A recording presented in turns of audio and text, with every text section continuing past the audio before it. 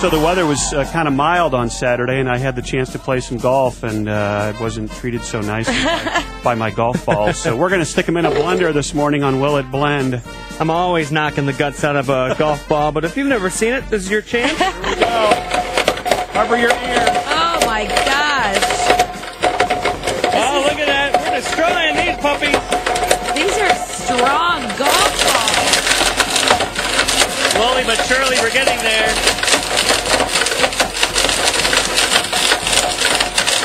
Wow, this is really taking it. Yeah, but it is happening slowly but surely. Wow. The, the smoothie mode turned itself off. if you were a bartender, I wouldn't tip you. You take too long to blend. All right, pour it out. Let's see what we got here. Wow.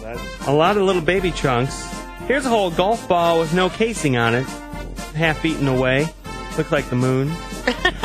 Looks like snow. We don't have snow right now, so we can sprinkle this outside. Will it blend the golf ball edition?